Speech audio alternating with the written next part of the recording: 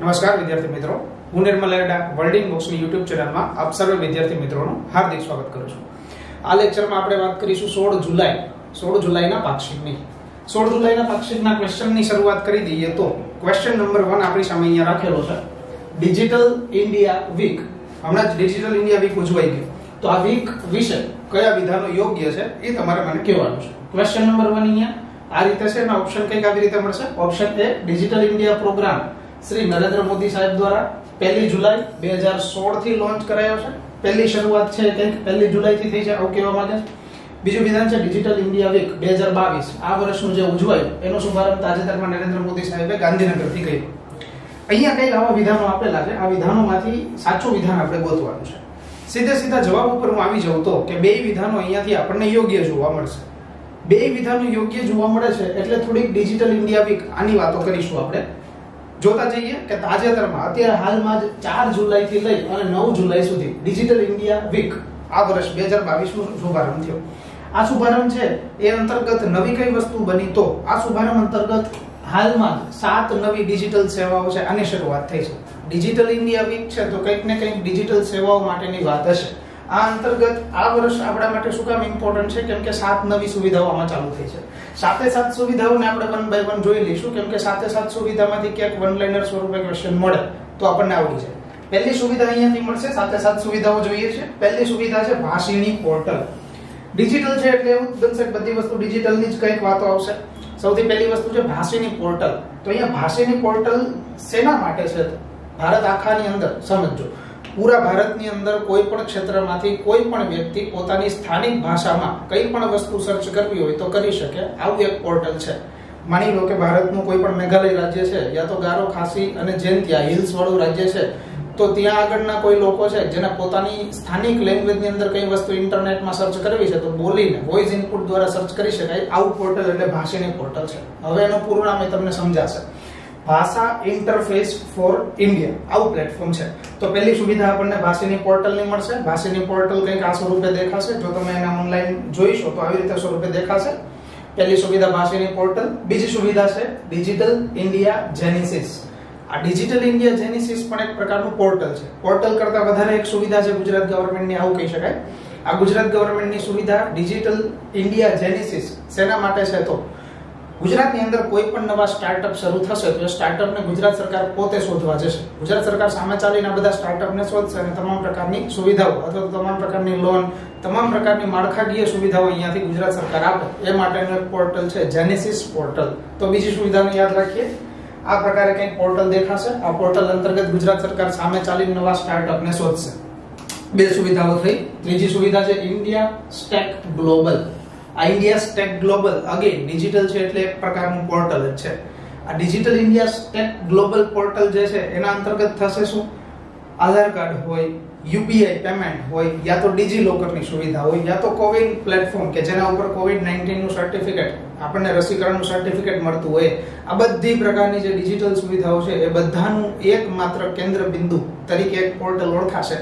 તો આ છે તો આ નંબરની સુવિધા આપણે યાદ રાખીએ. ત્રીજા નંબરની સ્પેક ગ્લોબલ આ નામનું પ્લેટફોર્મ છે. તમામ પ્રકારના લોકોની, તમામ પ્રકારની જે ડિજિટલ માધ્યમથી થતી તમામ સુવિધાઓ છે, એ બધી સુવિધાઓ એક જ પોર્ટલ ઉપર પ્રાપ્ત થાય.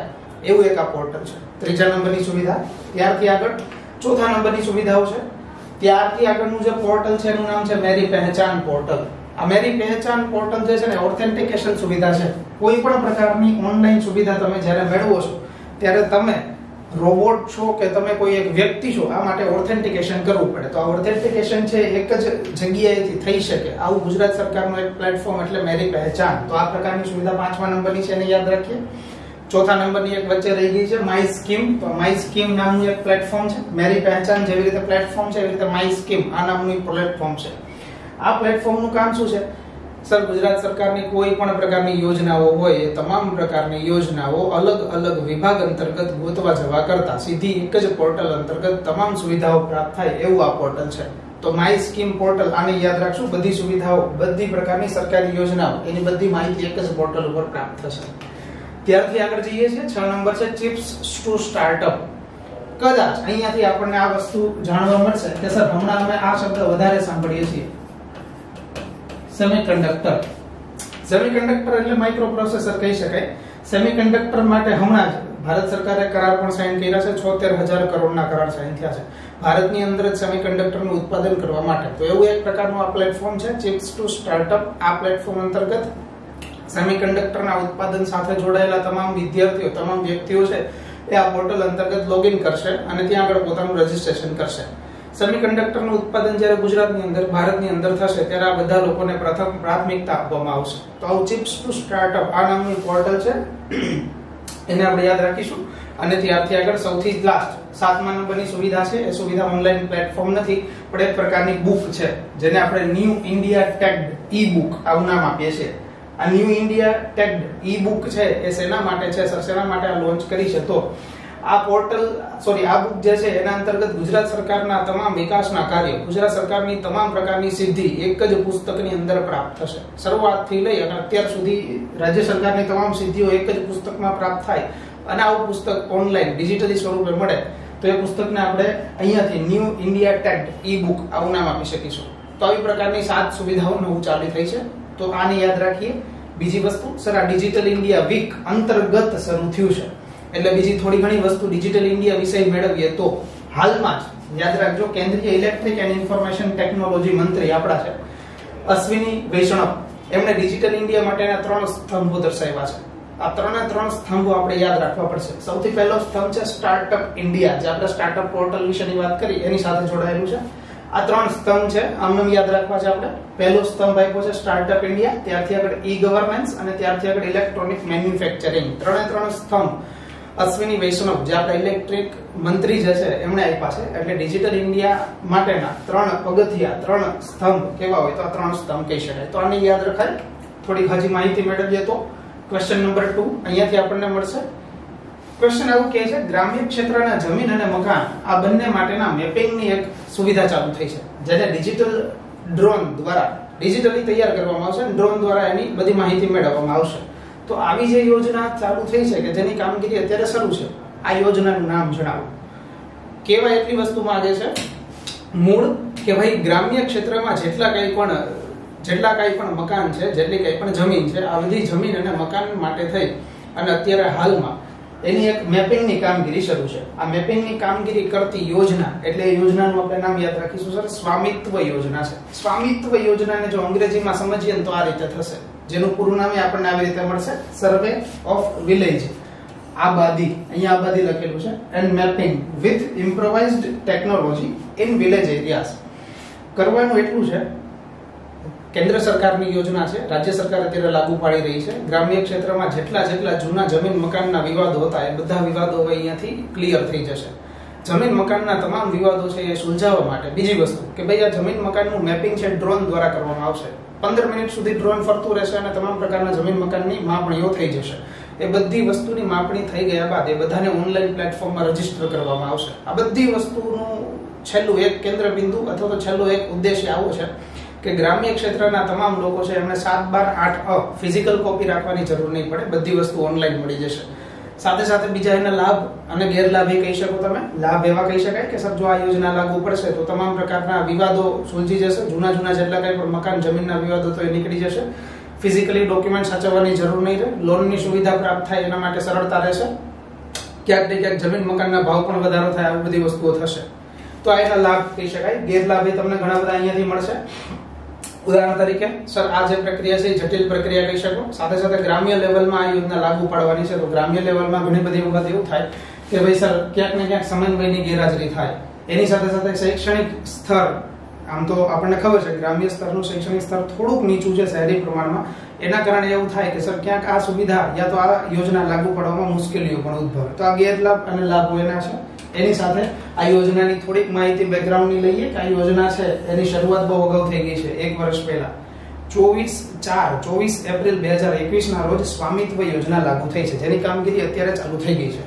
ચોવીસ ચાર, ચોવીસ એપ્રિલ આવતાની સાથે કદાચ આપણા મગજમાં બીજો એક દિવસ અહીંયાથી યાદ આવે કે સર, ચોવીસ ચાર એટલે પંચાયતી રાજ દિવસ, જેને અમે ઉજવીએ છીએ. તો ચોવીસ એપ્રિલ પંચાયતી રાજ દિવસ બે હજાર એકવીસ ના વર્ષથી જ સ્વામિત્વ યોજના લાગુ પડી છે. જમીન, મકાન, રેકોર્ડને ઓનલાઈન નોંધણી કરવા માટેની યોજના છે. પંચાયતી રાજ યાદ આવતાની સાથે આપણને કદાચ એવી ખબર પડશે કે પંચાયતી રાજ છે સર કે પંચાયતી રાજ લાગુ થયું રાજસ્થાનથી. રાજસ્થાનના નાગોરી જિલ્લાના બગદરી ગામથી. આ બધી વસ્તુ આપણને પંચાયતી રાજ વિશે આઈડિયા છે. થોડોક આના ડિપાર્ટમેન્ટ વિશેની ચર્ચા કરીએ સર? સ્વામિત્વ યોજના છે, કયા કયા ડિપાર્ટમેન્ટ એની સાથે સંકળાયેલા હશે તો? યોજના વિશેની ખબર પડી છે એટલે ડિપાર્ટમેન્ટ સમજાઈ જશે. પંચાયતી રાજ મંત્રાલય હોવું જોઈએ. રાજ્ય લેવલનું ડિપાર્ટમેન્ટ હશે. કેમ કે રાજ્ય લાગુ પાડવાનું છે. રાજ્ય પંચાયતી રાજ મંત્રાલય હોવું જોઈએ.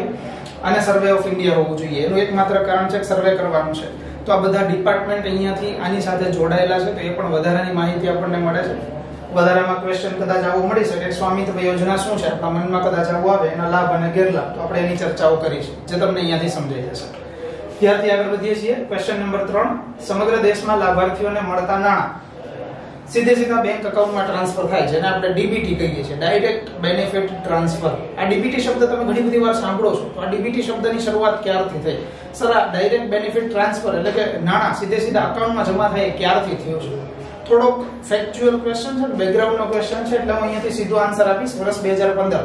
બે હજાર પંદરનું વર્ષ એવું છે જ્યારથી બધી સુવિધાઓ છે, વિદ્યાર્થીઓના યા તો કોઈ પણ લાભાર્થીના સીધા અકાઉન્ટમાં જમા થાય છે. તો બે હજાર પંદરનું વર્ષ છે, જ્યારથી ડીબીટી ચાલુ થયું છે. ત્યારથી આગળનો ક્વેશ્ચન ચાર પીએમજી દિશા, આનું પૂરું નામ જણાવો. પીએમજી દિશા જે છે ને યોજના છે. પીએમજી દિશા યોજનાનું પૂરું નામ પૂછ્યું છે. પીએમ આવતાની સાથે પ્રધાનમંત્રી યાદ રહી જાય. સાથે જી આવતાની સાથે ગ્રામીણ. ત્યારથી આગળ જોઈએ તો, સર, ગ્રામીણ ડિજિટલ સાક્ષરતા અભિયાન. આવું છે. સર, આ પીએમજી દિશા જે યોજના જે છે, એની શરૂઆત વર્ષ 2017 થી થઈ છે. કદાચ પૂરા નામ આવતાની સાથે જ આપણને યોજના છે એ ખબર પડી જશે કે, સર, આ અભિયાન શેના માટે છે? તો, સર, ગ્રામીણ ક્ષેત્રમાં જેટલા કાંઈ પણ લોકો છે, એ બધા લોકોને ડિજિટલી સાક્ષર કરવા માટેની યોજના છે. બે હજાર સત્તરથી શરૂ છે. બે હજાર સત્તરથી શરૂ એવી યોજના છે. અત્યારે માઇલસ્ટોન પ્રાપ્ત કર્યો છે. એટલા માટે અહીંયા ચર્ચામાં છે. એટલે આપણે આને લીધી છે. તો પૂરું નામ યાદ રાખીએ. બે હજાર સત્તરથી શરૂ થઈ છે, યાદ રાખીએ. જેના અંતર્ગત ગ્રામ્ય લેવલમાં કોમન સર્વિસ સેન્ટર શરૂ કરવામાં આવે અને આ કોમન સર્વિસ સેન્ટરની અંદર કમ્પ્યુટર લેબ બનાવવામાં આવે. અને તમામ વિદ્યાર્થી, જે કોઈ પણ વિદ્યાર્થી છે, લાભ લેવા માંગતા હોય, એ તમામ વિદ્યાર્થીઓને ફ્રી ઓફ કોસ્ટ અહીંયાથી ગ્રામ્ય લેવલ ઉપર ડિજિટલી સાક્ષર કરવામાં આવે. પર સ્ટુડન્ટ જે તે સેન્ટર બનાવનાર વ્યક્તિને પણ અહીંયા પર સ્ટુડન્ટ ગવર્મેન્ટ પૈસા ચૂકવતી હોય, સાથે સાથે સર્ટિફિકેટ પણ સરકાર માન્ય મળતું હોય. તો આવી જે અભિયાન જે છે, એને આપણે પીએમજી દિશા આવું કહીએ છીએ. ક્લિયર તો આને યાદ રાખવું પડશે? ત્યારથી આગળ વધીએ છીએ. ક્વેશ્ચન નંબર 5 ગુજરાત સરકારે અત્યારે હાલમાં નવી ત્રણ આઈટી પોલિસી એની શુભારંભ કર્યું છે. ત્રણ આઈટી પહેલ નવી શરૂ કરી છે. એના માટે ત્રણે ત્રણ પહેલને આપણે યાદ રાખી લઈશું. સર, કઈ કઈ પહેલ છે? સૌથી પહેલી એવી પહેલ છે ગુજરાત માય ગવર્મેન્ટ પોર્ટલ. જો કદાચ આપણને ખબર હશે સર, અહીંયાથી હું ગુજરાત આ શબ્દ હટાવી દઉં ને, તો માય ગવર્મેન્ટ પોર્ટલ આવું થાય. અને માય ગવર્મેન્ટ પોર્ટલ તો આપણે ક્યાંક સાંભળેલું છે. ભારત સરકારનું માય ગવર્મેન્ટ પોર્ટલ ચાલુ છે. જેના અંતર્ગત તમામ વ્યક્તિ પોતાની કઈ સુવિધા, પોતાની કઈ પણ સુઝાવ આપવો હોય તો સરકારને આપી શકે છે. આ રાજ્ય સરકાર આવી શરૂ કરવા માટે, આવું પોર્ટલ શરૂ કરવા માટે રાજ્ય સરકારે માય ગવર્મેન્ટ પોર્ટલ જ શરૂ કર્યું છે. કેન્દ્ર સરકારનું જે પોર્ટલ છે ખાલી માય ગવર્મેન્ટ છે. જ્યારે ગુજરાત સરકારે શરૂ કર્યું છે, એટલે પહેલી આઈટી પહેલા મળી, ગુજરાત માય ગવર્મેન્ટ પોર્ટલ. જેના અંતર્ગત તમામ નાગરિકો છે, કોઈ પણ નીતિને લગતા સુઝાવ, સારા અને નરસા, કોઈ પણ સરકારને સીધે સીધા રજૂ કરી શકે છે. તો આઈટી પહેલ પહેલા નંબરની આ છે. ત્યારથી આગળ આ રીતે કંઈક પોર્ટલ તમને દેખાશે. હર ઘર તિરંગા, આપણને ખબર જ છે હમણાં જ અભિયાન ચાલુ થયું હતું. તેરથી લઈને પંદરમી ઓગસ્ટ સુધી હજુ સુધી ઘણા બધા તિરંગા ઉતાર્યા નથી. બીજી આઈટી પહેલ આવી જોવા મળશે. આઈટી અને આઈટીએસ પોલિસી છે, એના માટેનું એક પોર્ટલ લોન્ચ થયું છે, જેને ઇન્સેન્ટિવ મેનેજમેન્ટ પોર્ટલ આવું કહેવાય છે. આ પોર્ટલ જે છે, એ શું કાર્ય કરશે? તો સર, કોઈ પણ ઉદ્યોગો માટેની અરજી છે, એ સબમિટ કરવી હોય, કઈ પણ દસ્તાવેજીકરણ કરવું હોય, બીજી કોઈ પણ માહિતી આમાંથી મેળવવી હોય, યા તો સર તમામ પ્રકારનું જે કંઈ પણ વિતરણ ઉદ્યોગોને થાય છે, એ બધી ઉપયોગી માહિતી જો આઈટી ઉદ્યોગને લગતી હોય અને સેન્ટ્રલાઇઝ પ્રાપ્ત કરવી હોય, તો આ પોર્ટલ આપણને કામ આવશે. જે આપણે પોર્ટલને નામ આપીએ છીએ IT policy incentive management portal તો આ પોર્ટલ અંતર્ગત તમામ પ્રકારની સુવિધાઓ એક જ પોર્ટલ ઉપર મળશે, કે જે આઈટી ઉદ્યોગને લગતી છે. ક્લિયર તો આવું પોર્ટલ યાદ રાખી શકાય? આવી બધી સુવિધાઓ અહીંયાથી મળશે. આનો ફાયદો અથવા તો આનો ઉદ્દેશ્ય શું છે સર પોર્ટલનો કોન્ટેક્ટલેસ એપ્લિકેશન મળી શકે ડેટાનું વેરિફિકેશન ઓનલાઈન થઈ શકે ઓનલાઈન ઇન્ફોર્મેશન મળે, અને આ બધી વસ્તુ છે એ ક્યાંક ને ક્યાંક રૂબરૂ ધક્કા ખાવાથી મટાડવાની વસ્તુ છે. તો આવું બીજું એક પોર્ટલ આઈટી માટેની પહેલ છે, એને યાદ રાખી લઈએ ઇન્સેન્ટિવ મેનેજમેન્ટ અને ત્યારથી આગળ ત્રીજા નંબર અગેન સર અહીંયા ત્રીજા નંબર એક પોર્ટલ નથી. પણ ઇમ્પ્લિમેન્ટેશન માટેની ગાઈડલાઈન છે. એટલે કે એક પ્રકારની ઈ બુક છે, એક પ્રકારની પીડીએફ છે, જે ઓનલાઈન પ્રાપ્ત થશે. આ પીડીએફમાં શું પ્રાપ્ત થશે તો રોકાણકારોની તમામ સુવિધાઓ છે પેપરલેસ અને કોન્ટેક્ટલેસ બનાવવા માટેની સિસ્ટમ જે તૈયાર થઈ છે તૈયાર સિસ્ટમ માટેનું રાજ્ય, એટલે ગુજરાત કહી શકાય. આ ગુજરાત રાજ્યમાં આજે પોર્ટલ લોન્ચ થયા છે. આઈટીની બે પહેલ લોન્ચ થઈ છે, એ માટેની તમામ માહિતી અહીંયાથી આ ગાઈડલાઈન ઉપરથી મળશે. કયા પ્રકારે દસ્તાવેજીકરણ કરવું, કયા પ્રકારે લોગિન કરવું, કયા પ્રકારે સાઇન અપ કરવું, આ બધી સુવિધાઓ માટેની એક ગાઈડલાઈન છે. એને આપણે ત્રીજી આઈટીની પોલિસી આવું નામ આપીએ છીએ. તો અત્યારે હાલ નવી ત્રણ આઈટી પહેલ લોન્ચ થઈ છે, તો એને આપણે યાદ રાખી લઈશું. ત્યારથી આગળ વધીએ છીએ. પ્રશ્ન નંબર છ. પ્રશ્ન કરતા તો અહીંયાથી ઇન્ફોર્મેશન છે, એટલે એને લઈ લઈએ. સર, ગુજરાતમાં નવાણું પોઈન્ટ સત્તાણું ટકા ગ્રામ પંચાયતમાં ઓપ્ટિકલ ફાઇબર કનેક્ટિવિટી પ્રાપ્ત થઈ છે. ઓપ્ટિકલ ફાઇબર કનેક્ટિવિટી પ્રાપ્ત થાય અને એ ગુજરાતમાં નવ્વાણું પોઈન્ટ સત્તાણું ટકા પ્રાપ્ત થાય એટલે મોટું માઇલસ્ટોન એચીવ થયો છે. પૂરા ભારતની અંદર ગુજરાત પહેલું એવું રાજ્ય બન્યું છે જેને આટલી હદ સુધી એચિવમેન્ટ મળ્યું હોય. આ ઓપ્ટિકલ ફાઇબર કનેક્ટિવિટી શેના માટે છે તો? કદાચ આપણે આવું સાંભળ્યું છે સર ભારત નેટ, આ નામનો એક પ્રોજેક્ટ ચાલે છે. ભારત નેટ પ્રોજેક્ટ જે ચાલે છે ને, એ આખા ભારતના તમામ ભારતના તમામ ગામડાઓ, ખાલી ગુજરાતની વાત નથી, ગુજરાતના જ ખાલી અઢાર હજાર ગામડા છે. આવી રીતે આખા ભારતના તમામ ગામડાની તમામ ગ્રામ પંચાયત કે જ્યાં તલાટી મંત્રી સાહેબ બેસતા હોય ત્યાં ગ્રામ પંચાયતને કેબલથી ઇન્ટરનેટ આપવાની વાત છે. અને આ કેબલથી ઇન્ટરનેટ જે આપવું છે ને, એ કેબલ ઓપ્ટિકલ ફાઇબર કેબલ છે. ઓપ્ટિકલ ફાઇબર કેબલથી ઇન્ટરનેટ આપવું અને ભારતની તમામ ગ્રામ પંચાયતને જોડવી, એના માટેની આ યોજના છે. જેને ભારતનેટ પ્રોજેક્ટ કહેવાય છે. આ ભારતનેટ પ્રોજેક્ટ અંતર્ગત ગુજરાત અત્યારે નવ્વાણું પોઈન્ટ સત્તાણું ટકા ગ્રામ પંચાયતને આવરી લીધેલી છે. પહેલું રાજ્ય એવું બન્યું છે જેમાં આટલું એચિવમેન્ટ પ્રાપ્ત થયું. બાકી બધા રાજ્યમાં પ્રોજેક્ટ ચાલુ છે. થોડોક બેકગ્રાઉન્ડનો ડેટા તપાસીએ સર. ભારતનેટ પ્રોજેક્ટ જે છે એ બે હજાર અગિયાર, વર્ષ બે હજાર અગિયારથી શરૂ થયું છે. વર્ષ બે હજાર અગિયારમાં જ્યારે શરૂ થાય ત્યારે પચીસમી ઓક્ટોબર અને પચીસમી ઓક્ટોબર જ્યારે શરૂ થાય ત્યારે આનું નામ ભારત નેટ આવું નથી. પરંતુ ભારત નેટની જગ્યાએ એન એન આવું નામ હતું. એનઓએફએન એટલે નેશનલ ઓપ્ટિકલ ફાઇબર નેટવર્ક આવું કહી શકાય. ગ્રામ પંચાયતને ઇન્ટરનેટ સાથે જોડણ આપવું બે હજાર ચૌદમાં જ્યારે ભાજપની સરકાર આવી, ત્યાર પછી એનું નામ એ લોકોએ ભારત નેટ પ્રોજેક્ટ આવું કરી દીધું છે. આ પ્રોજેક્ટ અંતર્ગત મેં તમને વાત કરી બ્રોડબેન્ડ કનેક્ટિવિટી આપવાની છે અને ઇન્ટરનેટ કનેક્ટિવિટી આપવાની છે. તો ઇન્ટરનેટ કનેક્ટિવિટી મળે અને એ ગુજરાતની અંદર નવ્વાણું પોઈન્ટ સત્તાણું ટકા સુધી પ્રાપ્ત થાય, જેની જાહેરાત અત્યારે થાય, તો આપણે આ પ્રોજેક્ટને જાણવું જરૂરી રહી ગયું અહીંયાથી એના ફાયદા અને ગેરફાયદા મેં તમને આપેલા છે, જે જરૂરી નથી, પણ આપણને ખાલી ખબર પડે એટલા માટે છે કે ભાઈ કોઈ પણ ક્ષેત્રમાં વિશાળ ઇન્ટરનેટનું ઇન્ફ્રાસ્ટ્રક્ચર પ્રાપ્ત થાય, એની હારે આખી દુનિયા માટેનો, સમજજો, આખી દુનિયા માટેનો આ સૌથી મોટો પ્રોજેક્ટ છે. આખી દુનિયામાં એવો કોઈ પ્રોજેક્ટ નથી કે જે ગ્રામ્ય ક્ષેત્રમાં ઇન્ટરનેટ પૂરું પાડતો હોય એવો ભારતનો આ સૌથી મોટો પ્રોજેક્ટ કહી શકો, બરાબર? અહીંયાથી સાથે સાથે ફાયદો કેટલો છે? વાઈફાઈ હોટસ્પોટથી ઇન્ટરનેટ પ્રાપ્ત થશે?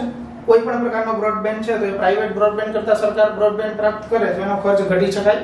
ત્યારથી આગળ મેન પાવર એમાં રોકાય, એટલે ક્યાંક રોજગારીનું સર્જન થાય. તો આવા એના ફાયદાઓ મળશે. ક્લિયર ફેક્ચ્યુઅલ ડેટા આપણે લીધો છે. ત્યારથી આગળના ક્વેશ્ચન ઉપર જઈએ. ક્વેશ્ચન નંબર સાત. વાહન તથા લાયસન્સની કુલ સોળ પ્રકારની સેવાઓ પ્રાપ્ત થાય અને ઘરે બેઠા પ્રાપ્ત થાય, એ માટેની અત્યારે એક એપ્લિકેશન લોન્ચ થઈ છે. તો એપ્લિકેશનનું નામ તમારે મને જણાવવાનું છે. કદાચ તમારા મનમાં આનો જવાબ આવી ગયો છે, સર, એમ પરિવહન, એમ, એટલે મોબાઈલ અને પરિવહન. એમ પરિવહન શેના માટે છે? શું તો ઘરે બેઠા તમને સોળ પ્રકારની લાયસન્સની સુવિધાઓ પ્રાપ્ત થશે. રૂબરૂ આરટીઓ જવાની જરૂર નથી. લાયસન્સની કોઈ પણ પ્રકારની અરજી કરવી છે, સુધારો કરવો છે, વધારો કરવો છે, કંઈ પણ વસ્તુ કરવી છે, તમે ઘરે બેઠા અહીંયાથી કરી શકો છો. આ માટેની એપ્લિકેશન છે, જેને એમ પરિવહન કહેવાય. ક્લિયર ત્યારથી આગળ આના માટેનું મંત્રાલય, સર, આરટીઓ હોય એટલે અમને ખબર પડી જાય ministry of road transport and highways clear તો આવું આપણને પ્રાપ્ત થશે. આ મંત્રાલય અંતર્ગત આ યોજના છે અને આ એપ્લિકેશન અત્યારે લોન્ચ થઈ છે એટલે એપ્લિકેશનનું નામ યાદ રાખી લઈશું. સોળ પ્રકારની સુવિધાઓ પ્રાપ્ત થશે. પોર્ટલ તમે જોશો તો કંઈક ઓનલાઈન આ પ્રકારે દેખાશે. ટોટલ સોળ પ્રકારની સુવિધાઓ અહીંયા આપે છે. આ બધી સુવિધાઓ છે આપણને ક્યાંક ને ક્યાંક અહીંયાથી પ્રાપ્ત થશે. આગળ વધીએ છીએ ક્વેશ્ચન નંબર 8 અહીંયાથી આપણને મળશે પીએમ કિસાન યોજના. પીએમ કિસાન યોજના તમે વારે વારે સાંભળ્યું જ છે, પણ હું અહીંયાથી થોડોક બેકગ્રાઉન્ડનો ડેટા તમને આપીશ. પીએમ કિસાન આવતાની સાથે જ અમને પૂરું નામ યાદ આવી જાય, સર. પ્રધાનમંત્રી કિસાન સન્માન નિધિ યોજના. આ યોજના શું હતી, સર? ખેડૂતોને છ હજારની રકમ પ્રાપ્ત કરવાની હતી, બે બે હજારના હપ્તા આપવાના હતા. આ બધી વસ્તુ અહીંયાથી આપણને ખબર છે. મારે તમને અહીંયાથી તારીખ આપી છે, આ યોજના ક્યારે લોન્ચ થઈ છે? યાદ રાખી લઈએ સર ચોવીસમી ફેબ્રુઆરી વર્ષ બે હજાર ઓગણીસ છે, જ્યારે પીએમ કિસાન આ યોજનાની શરૂઆત થઈ છે. ખેડૂતોને બે બે હજારનો હપ્તો પ્રાપ્ત થાય, ત્રણ હપ્તામાં પ્રાપ્ત થાય અને ડાયરેક્ટ બેનિફિટ ટ્રાન્સફર, ડીબીટી એમના અકાઉન્ટમાં જમા થાય. તો અહીંયાથી ચોવીસ ફેબ્રુઆરી બે હજાર ઓગણીસ વર્ષ અને તારીખ મારે તમને આપી છે આપણે યાદ રાખીશું. ત્યારથી આગળ વધીએ છીએ. ક્વેશ્ચન નંબર નવ, ડિજિટલ સેવા સેતુ ની શરૂઆત કયા વર્ષથી કરવામાં આવી? અહીંયા ઉતાવળ કરવાનું નથી. સર, સેવા સેતુની વાત છે તો ક્યાંક અમે પાછળ જતા રહીશું? 2015 ના વર્ષમાં જતા રહીશું. નહીં. બે હજારનું વર્ષ અહીંયાથી નથી યાદ રાખવું. આગળનો શબ્દ આપણે યાદ રાખવો છે, સર, ડિજિટલ પૂછ્યું છે. ડિજિટલ સેવા સેતુ. ઘરે બેઠા ડિજિટલ સેવા સેતુ પ્રાપ્ત થાય. એના માટેની શરૂઆત ક્યારથી થઈ છે? તો લોકડાઉનથી થઈ છે, આપણને ખબર હશે, વર્ષ 2019 જ્યારે કોરોનાની મહામારી આવી, સેવા સેતુ કાર્યક્રમ તમને ખબર હશે. મેં અગાઉ ઘણું બધું એનો ડેટા લીધેલો છે. સેવા સેતુ એટલે સરકારના કર્મચારીઓ જે ગામડા ઉપર આવે અને બધા ડોક્યુમેન્ટ છે સુધારા વધારા ગામડામાં ઘરે બેઠા કરી આપે. બરાબર? ગામના પંચાયતના ચોરે કરી આપે. રૂબરૂ ત્યાં જવાની જરૂર નથી. આને સેવા સેતુ કાર્યક્રમ આપણે કીધો છે. પણ આવો જ સેવા સેતુ કાર્યક્રમ ડિજિટલી શરૂ થાય તો એ વર્ષ બે હજાર વીસથી થાય. ડિજિટલી કરવાની એટલે જરૂર પડે, સર, કેમ કે રૂબરૂ જઈ શકાય એમ ન હોય. રૂબરૂ જઈ શકાય એમ શું કામ ન હોય, સર? કેમ કે કોરોનાની મહામારી હોય તો લોકડાઉન હતું, બહાર જવાની જરૂર નહોતી. એટલે બે હજાર વીસનું વર્ષ આપણે લિંક કરીને યાદ રાખી શકીશું. ક્લિયર ત્યારથી આગળ ક્વેશ્ચન નંબર 10 મળશે તમને. પ્રાકૃતિક કૃષિ સંમેલન. અત્યારે હાલ આયોજન થયું છે. ક્વેશ્ચન અહીંયાથી આવું પૂછ્યું છે કે આજે સંમેલન, પ્રાકૃતિક કૃષિ સંમેલનનું આયોજન થયું એ કયા જિલ્લાની અંદર થયું? ગુજરાતની અંદર આવું પ્રથમ વખત બન્યું છે જ્યાં પ્રાકૃતિક કૃષિ સંમેલનનું આયોજન થયું હોય. તો આપણે એને યાદ રાખી લઈએ સર, સુરત. સુરત જિલ્લો એવો છે જ્યાંથી પ્રાકૃતિક કૃષિ સંમેલન યાદ થયું હોય. કદાચ તમને અહીંયાથી આવું થયું હશે સર, પ્રાકૃતિક કૃષિ સંમેલન આવ્યું તો કદાચ ડાંગ જિલ્લો હશે. ડાંગ જિલ્લો તમને શું કામ મગજમાં આવ્યો એ હું તમને કહું છું, પણ યાદ રાખવું છે, સુરતમાં શરૂઆત થઈ છે. પ્રાકૃતિક કૃષિ આવે તો આપણને વ્યક્તિ કોણ યાદ આવવા જોઈએ, સર? આચાર્ય દેવવ્રતજી. ક્લિયર તો આ યાદ રાખવા જોઈએ. નરેન્દ્ર મોદી સાહેબે અત્યારે હાલ પ્રાકૃતિક કૃષિના બ્રાન્ડ એમ્બેસેડર તરીકે અમને નિયુક્ત કર્યા છે.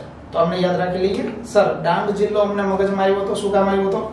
કેમ કે ડાંગ જિલ્લો ગુજરાતનો પ્રથમ એવો જિલ્લો છે.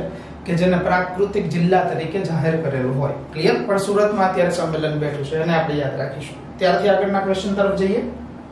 સમગ્ર દેશનું, એટલે કે આખા ભારતનું સર્વપ્રથમ ક્રમ ધરાવતું આદર્શ ગ્રામ.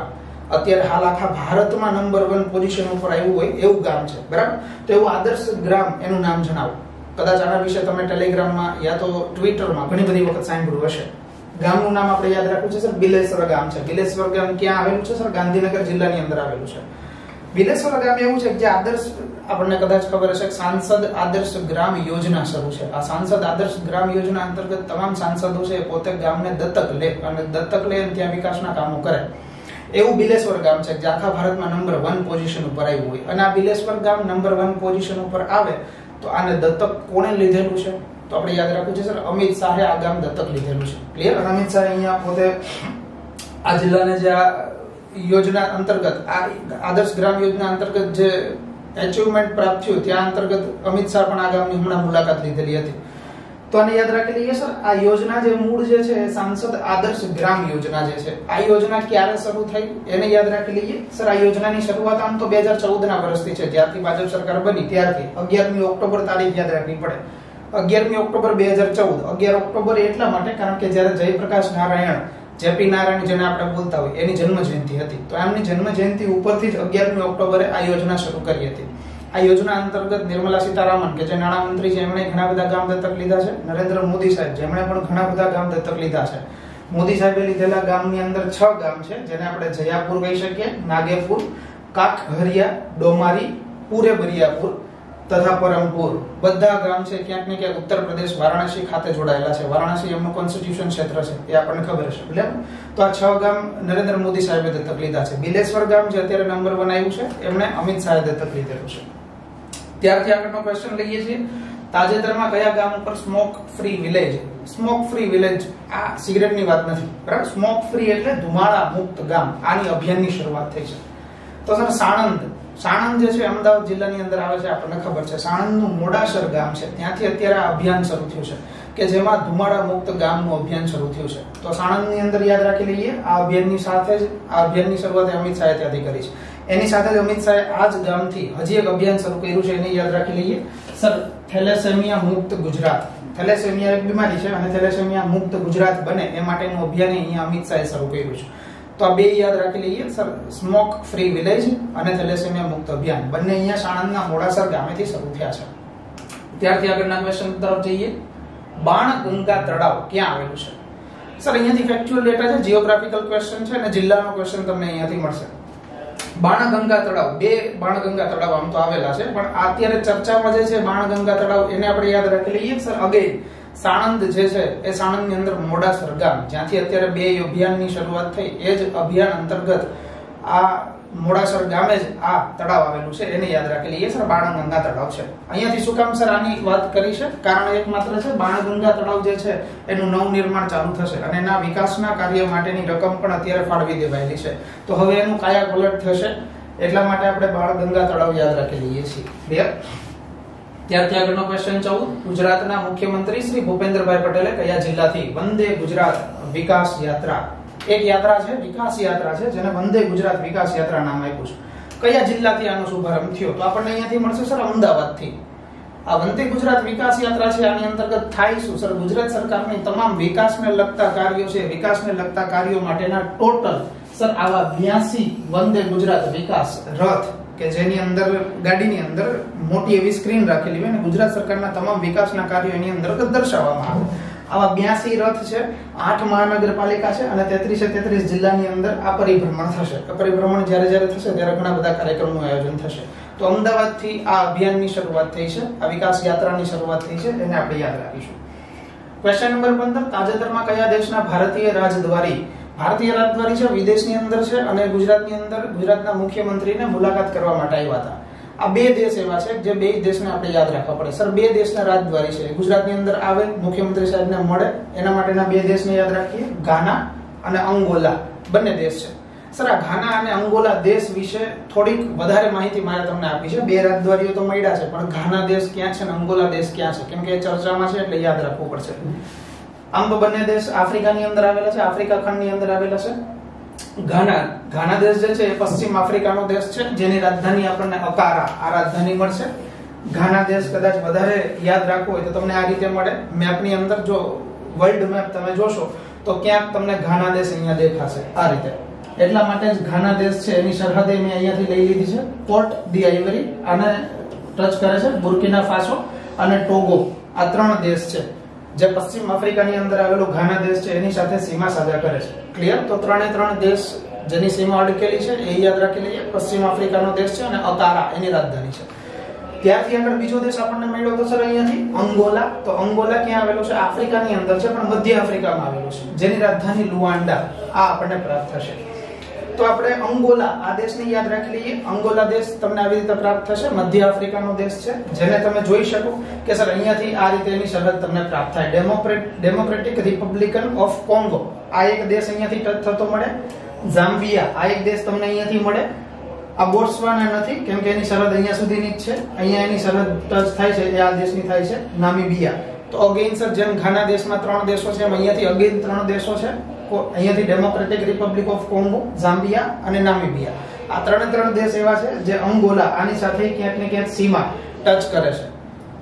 હવે એવી વાત કરીએ સર, આ બે રાજદ્વારી કે જે ઘાના અને અંગોલા, બે દેશના રાજદ્વારી છે, ગુજરાતની અંદર મુલાકાત કરવા માટે શા માટે આવ્યા? આ બે દેશ એવા છે. આમ તો આફ્રિકા તમે કહી શકો, જેને હીરાની ખાણ એવું નામ આપણે આપીએ છીએ, આફ્રિકા ખંડ.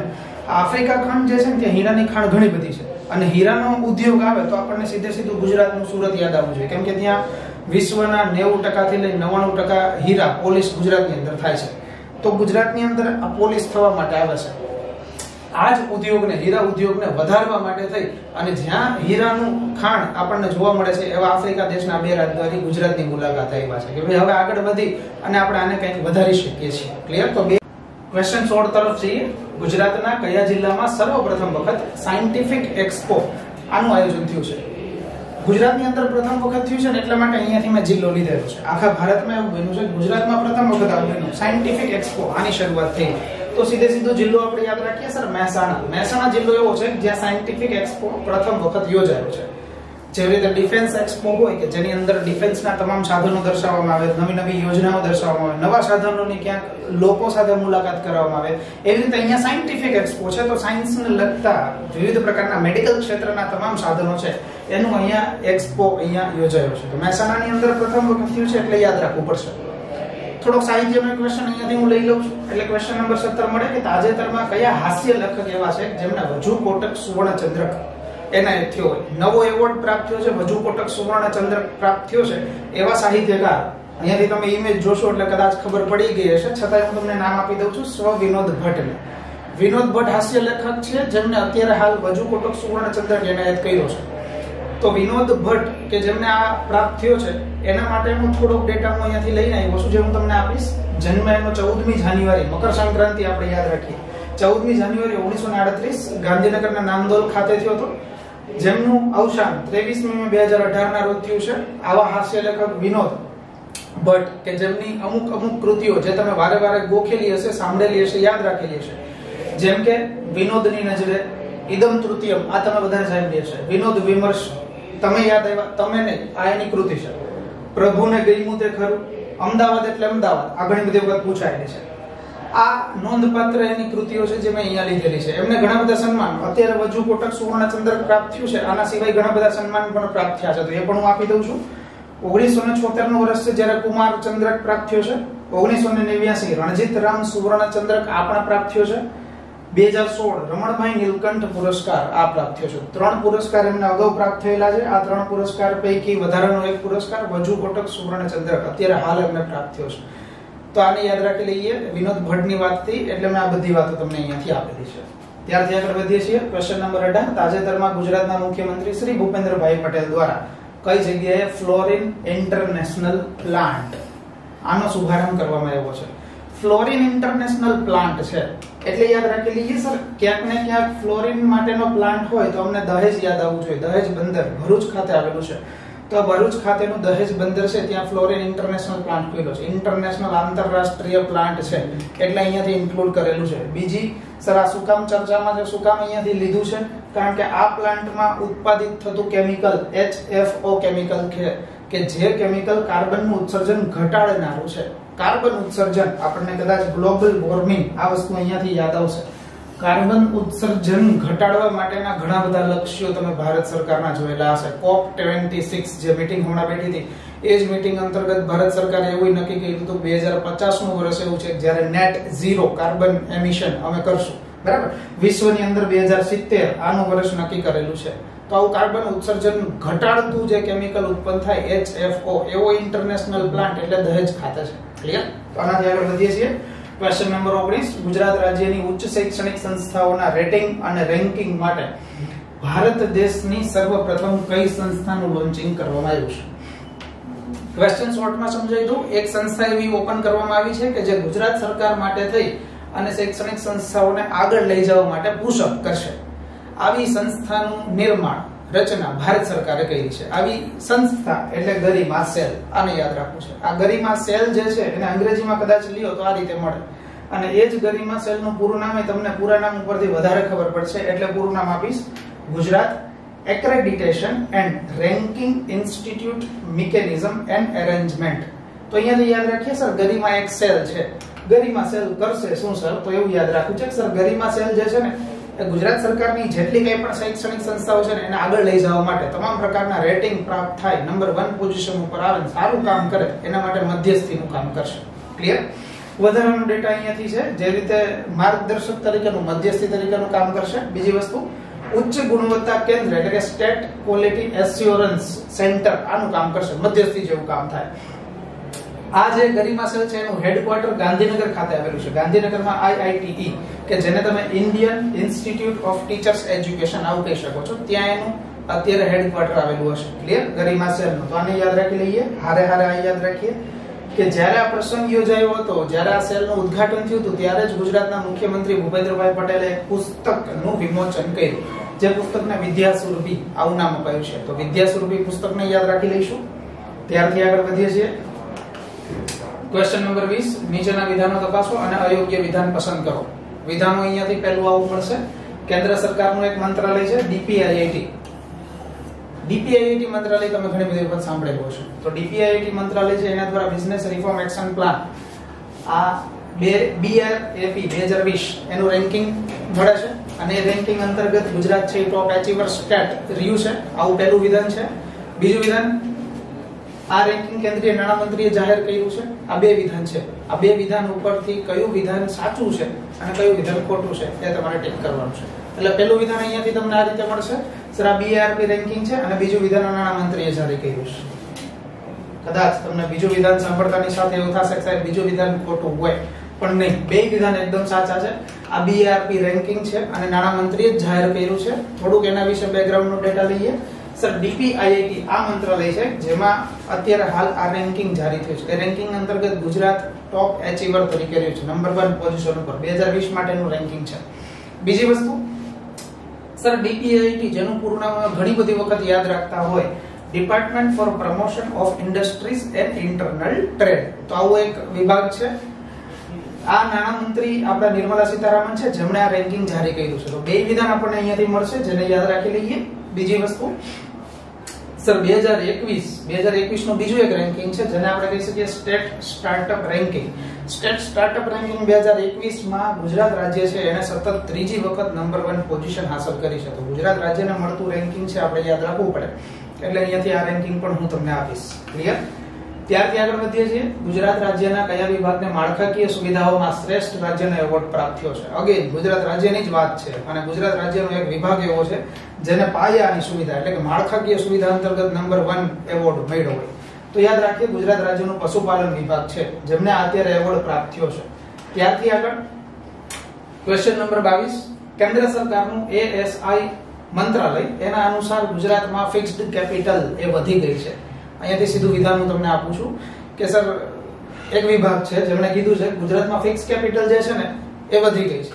ફિક્સ કેપિટલ વધવું એનું કારણ, અચ્છા, એ કારણ તો આપણે હમણાં લઈએ, પણ આના માટેનો ડેટા લઈએ તો.